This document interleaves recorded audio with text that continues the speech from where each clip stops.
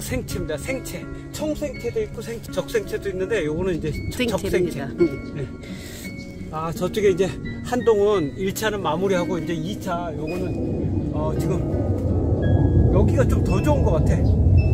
아 완전히 아, 이렇게 해서 야 아마 진짜 이거 맛본 분들은 야 이런 생채가 이런 상추가 있나 싶을 겁니다 이거. 아삭아삭하고 맛있는 생채입니다.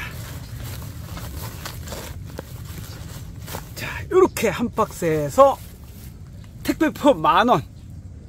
요거 이제 한동 하면 한동안 한동안 이제 또안 나오죠? 네. 어, 우리가 어, 한 네 동을 심었는데 한 동 거의 다 하고 이제 두 번째 동 두 동하고 세 동째고구나 이제 세 동째인데 아 진짜 사람들 이거 드신 분들이 다 감탄을 합니다.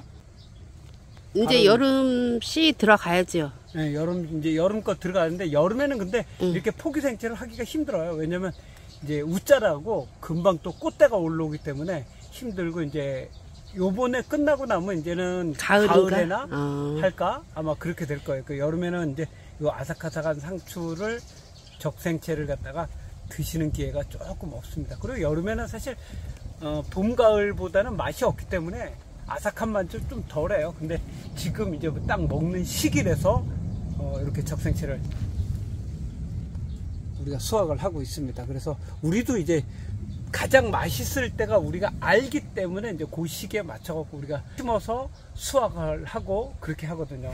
하여튼 요거 2차 수확하는 적생채 자 주문하시면 저희가 여기 첫 번째 댓글에 주문서 남겨놓도록 하겠습니다. 그러면 주문하시면 저희가 택배로 보내드리는 걸로 그렇게 하겠습니다.